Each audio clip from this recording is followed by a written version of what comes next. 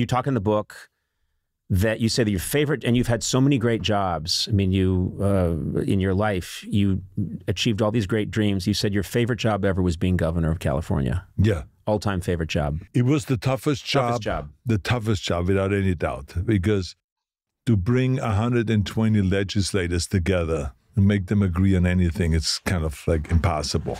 Uh, but we made it possible. We figured it out, and. Um, I think that to serve 40 million people and to be the governor of the greatest state in the union, greatest state in the country, out of 50 states, California is without by far the greatest state with the most revenues and the most power, the most diversity in order. Uh, uh, unbelievable.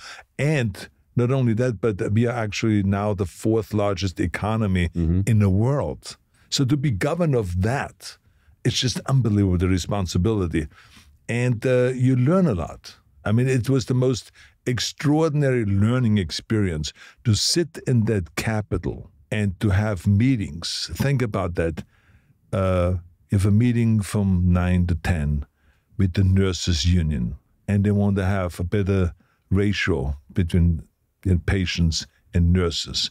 If you know, for for every uh, four patients, one nurse, rather than for every six patients, one nurse. Mm-hmm. And I never even heard of that before, the ratio. So you learn about all of that and what is it that nurses go through. And why is it important? Because when they lift a patient from the operating table, you know, under their bed, uh, those two women cannot sometimes do it if it's a heavier patient. So they need a male patient there. So they were fighting also to have male patients that they're a little stronger to, to lift the male patient. nurses. So yeah, all yeah, of yeah. this, so all of this stuff, I've never even heard of those Yeah. debates. Then then the, the prison guards come in and say, we are working so many overtime, uh, so much overtime that we need to have more prison guards. We need to hire more, and we have to have more salaries, and more wages, and more benefits, and all that. So they talk about that issue. Then the, the, the teachers come in, the teachers union. They talk about the you know teaching and the challenges teachers go through. Then the people that represent the kids come in. So this is how it goes on and on and on from morning to night. And it's always issues that you have not really been aware of. So in the beginning, it was kind of like a university where you study new subjects and new issues all the time, and you become so smart with all of this stuff. Yeah. And I had one advantage, and that was I was not a real ideologue. You know, yes, I was conservative. Yes, I'm a Republican but I'm not stuck in this ideological corner. And I didn't look at the Democrats as the enemy. I always felt kind of like in order to make this work, you have to have Democrats and Republicans work together. Yeah. So we worked together and we figured out what is it that we can do together, and then let's fight over the other issues. People are so mm-hmm. hungry for that. Yeah, right and so now. and so There's- that is yeah. really what we did, and that's why we were able to do build all this infrastructure, and why we were able to do the, the redistricting reform and get rid of gerrymandering, and why we were able to go and pick so many minority judges and women and and all of this. So we were able to do things and the environmental issues that we tackled. I mean, it's the only state that really reduced its greenhouse gases, its pollution by 25% within 10 years. So there was a lot of great stuff that was going on, but together. Democrats and Republicans together did this work. Not me, not the Republicans, but Democrats and Republicans. Here's what uh, really I took away from your book and uh, and what you're saying right now is early in your career it's you and you ha- are in a situation where you can control your body. You can control what you do to your body and how you build your body. You can be in full control as a bodybuilder. Then control was very important to you when you got into movies how can I prepare myself? What roles are right for me? What roles are wrong for me? If I'm going to do a comedy, what should that comedy be? And what would the best way for me to, how could I best show my humor? What would work? Who's the best this? Who's the best that? When you become governor, you put yourself in a situation where a governor can do so much.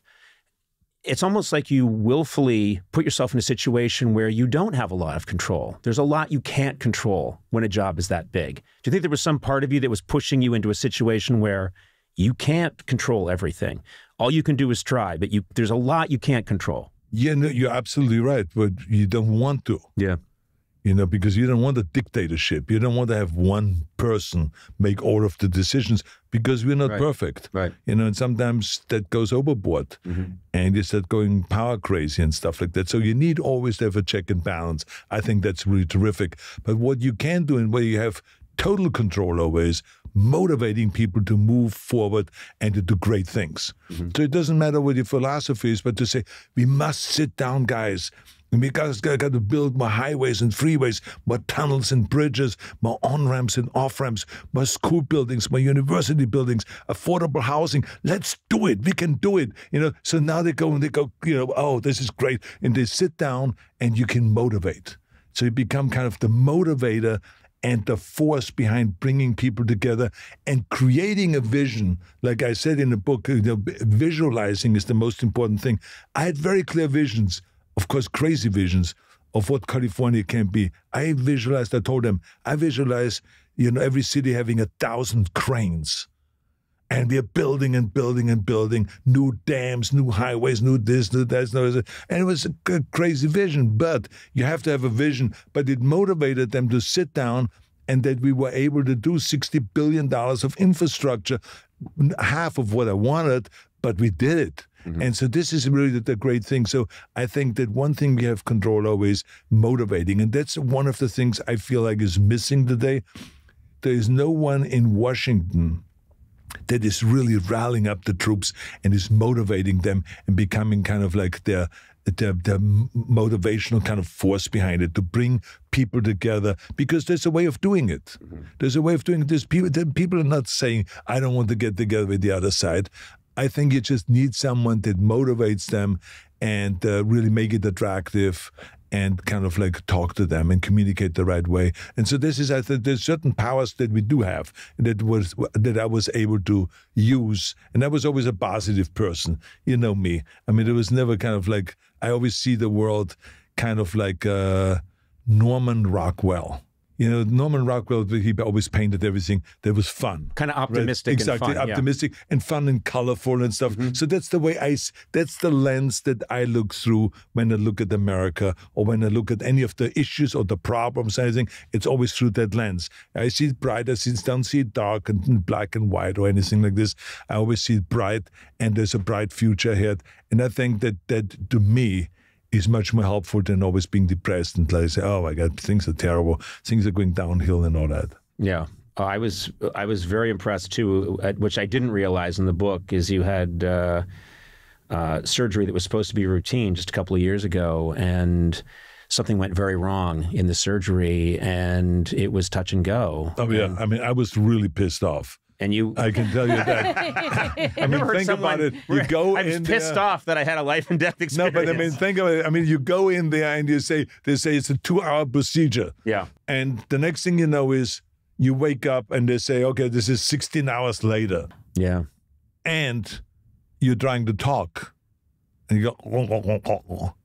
They say, well, no, don't uh, don't try to talk, Arnold. Uh, uh, you still have this thing. They put a sort of, tube in your throat. tube Yeah. in your throat, and so they then I put a, the, the tube out of my throat. They, you know, I'm coughing, and they say, "All right, let us explain to you." Things went south.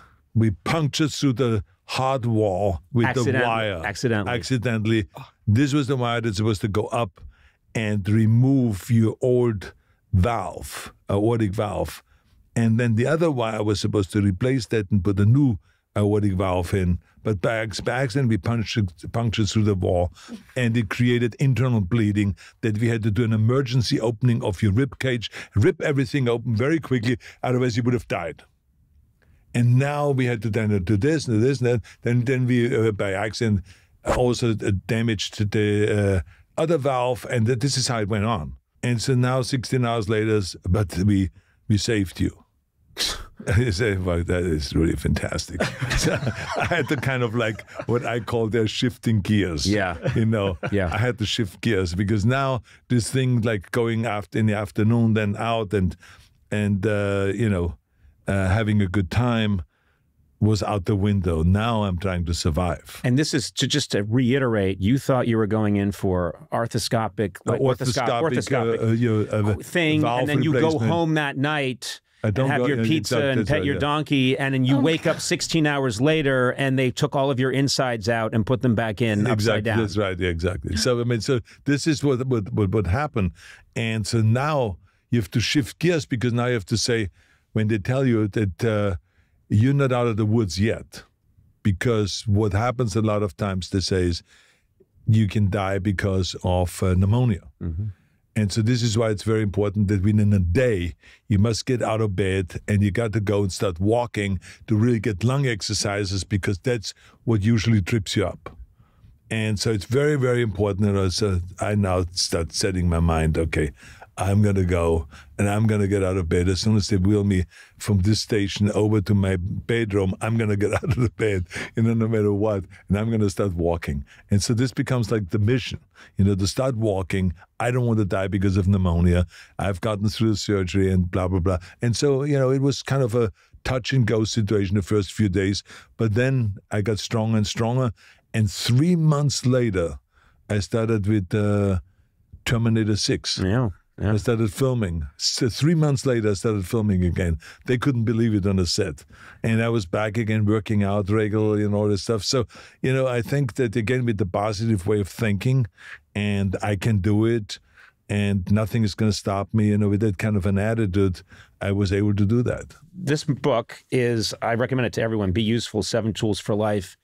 I recommend it because the, the, quality that comes through again and again and again in this book that's really sweet is humility. You have a lot of humility for someone who is almost like the cartoon representation of you can do it all and achieve everything. You're very, very humble and uh, you have a lot of empathy for people who maybe don't have some of your qualities or struggle. You have an incredible amount of empathy.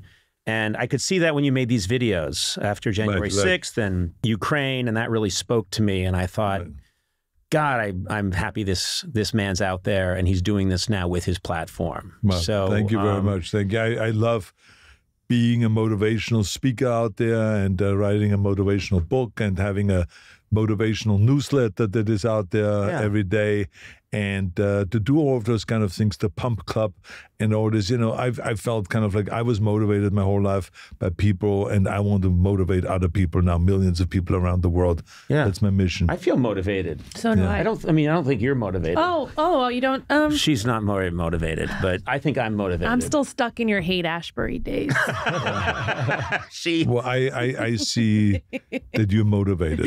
I don't know why Conan is after you. I mean, it's like you're the only woman in this room. Thank and who is he attacking? Oh my You. God. It's Yes. like unbelievable. Yes. Maybe you're You know, motivated to quit. You know what I'm Thank you. saying? Yes. I'm going to start a rumor that he has a hostile work environment. I'll back you Okay. up. It's I'll not a rumor. up. It's not a rumor. I will back That is you all up. I need it's, right not a, now. it's not a rumor. It's not a rumor. It's not the It's not a rumor. Yes! Yes. Arnold Schwarzenegger, thank you very much. God bless.